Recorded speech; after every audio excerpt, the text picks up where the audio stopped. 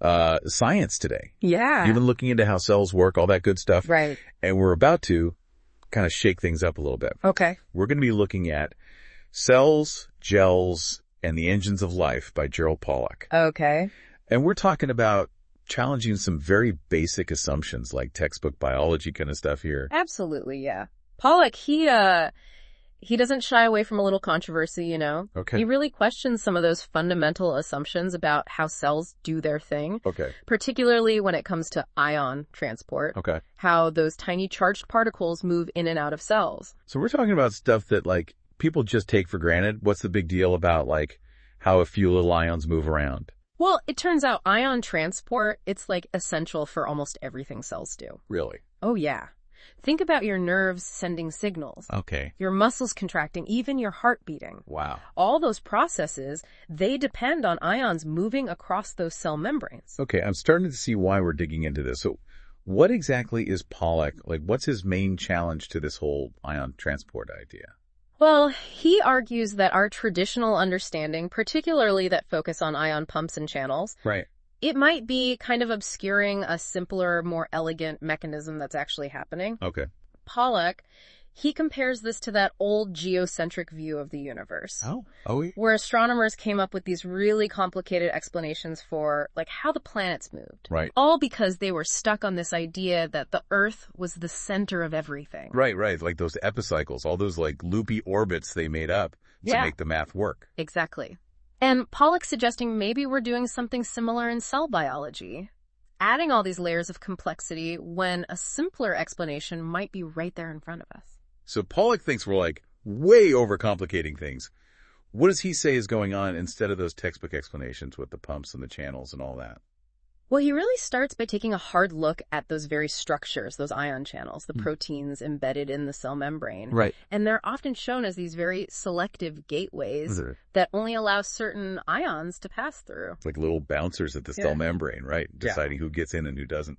Exactly. Yeah. But Pollack points out some pretty, like, significant challenges to this whole traditional view. Okay. One of the biggest ones comes from a technique called patch clamping, Oh yeah. which was used to study these ion channels. I remember reading about that. That's how scientists were able to like measure those tiny currents Right. from like single ion channels opening and closing. Yeah. It was Yeah. a pretty big deal. Didn't it even win a Nobel Prize? Yeah, back in 1991. Oh. Ah. But here's where it gets kind of interesting. Okay. Researchers, they later discovered that you could actually get very similar current fluctuations. Go ahead. Those supposed single channel recordings, Right. Even when they were using non-biological materials, Right. like silicon rubber. Wait a minute, hold on. Silicon rubber, like what you use to caulk bathtubs. You're telling me that like inanimate materials can, what, mimic the behavior of these ion channels? It seems that way, yeah, that's what the research suggests. Right. And it's not just silicon rubber, they found similar results with polymer filters as well. Hmm. So this whole thing, Pollack actually refers to this as the silicon rubber anomaly. Okay. And it really raises some serious questions about like, were those patch clamp recordings really capturing what we thought they were? Right. That's super interesting. So Hmm. if these recordings aren't necessarily telling us what we thought, what does that mean for our understanding of these ion channels? Well, it really throws a wrench in that traditional view of these channels as highly specific gateways. Because if non-biological materials can produce similar electrical signals, it suggests that, you know, maybe something else is going on, something that doesn't require these precisely structured proteins. okay. Pollack, he even quotes another scientist who just describes the selectivity of ion channels as weird, Okay. given some of these discrepancies. Okay. So maybe the ion channels aren't the whole story, but what about those energy hungry pumps? Right. The ones that are, you know, they work tirelessly pumping ions against their concentration gradients to like Yeah. keep everything hunky dory inside the cell. Uh. Surely those things gotta be essential, right? Well, Pollack actually challenges that too. Does he really? He says that the energy demands of these pumps, if they were solely responsible for maintaining these ion gradients, Yeah. would be astronomical. Astronomical. Is he saying that our cells are like secretly violating the laws of thermodynamics? Not quite.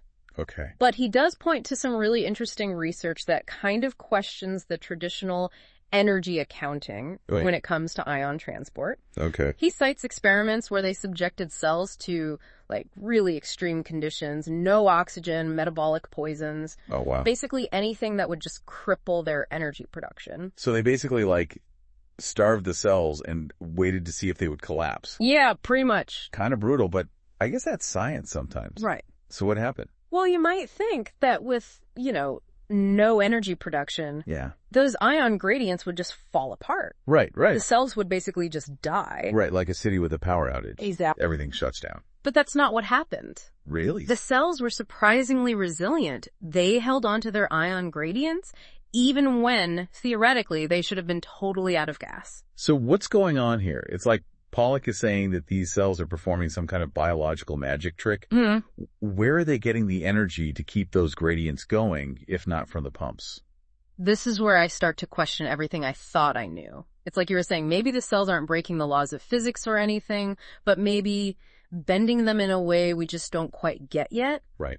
So if it's not these ion pumps working overtime, then what's the real story here? How are these cells maintaining order without like running out of gas? Well, that is the million dollar question. Right. And Pollack, he offers up a pretty fascinating alternative perspective here. Remember how we've been talking about cells kind of like their little water balloons Yep. with stuff inside? Right. Pollack says that's way too simple. Okay. He says think more like a the interior of a cell is more like a like a complex gel. Okay, a gel, Yeah. like like Jello or something, Mm. or or like those little silica packets that come with electronics. Those things are weird. Not exactly those kinds of gels, no. Okay. But, but you know, the analogy kind of helps uh to get at what Paul is talking about. Okay, He's basically saying that the water inside cells isn't just floating around randomly. It's structured, it's organized okay, by proteins, molecules, all forming this intricate matrix. So more like Jello than a water balloon then. Yeah, there you go. Okay, all right, I, I can picture that a little better. But how does that gel-like structure actually help with moving those ions around then? Well, Pollack's hypothesis is that this gel structure, which he actually calls the exclusion zone, Okay, or EZ for short, catchy. it can actually create and maintain those ion concentration gradients we've been talking about, Right. all without just relying on pumps going constantly. So the cell structure itself is doing some of that work. That's kind of wild when you think about it. It really is. It challenges us to think about cells totally differently. Yeah. Imagine like a busy city with all these roads and tunnels. Okay. The pumps, in this case, would be like trucks constantly moving people around. Right. And those trucks need a ton of fuel to keep going, to keep the city running. Exactly. Now, what if the city itself was designed so that people naturally flowed to where they needed to be, using those roads and tunnels more efficiently? Okay. That makes sense. That's kind of what Pollack's getting at with this gel-like structure. Right. It creates an environment where things can just work more efficiently. So maybe those pumps are still there, but they're more like a backup generator. Right, exactly. Exactly. Rather than the main power source. Wow. And this brings us back to those starved cells. Right, right. If Pollack is right, those cells weren't doing anything magical. Yeah. They were just using the inherent properties of their own structure Wow. to keep those ion gradients going, even when they were, you know, under stress. That's incredible. You know, when we started this whole thing, I thought we were just going to be talking about some tiny particles moving around. Right. I had no idea we'd end up questioning, like how we even think about cells.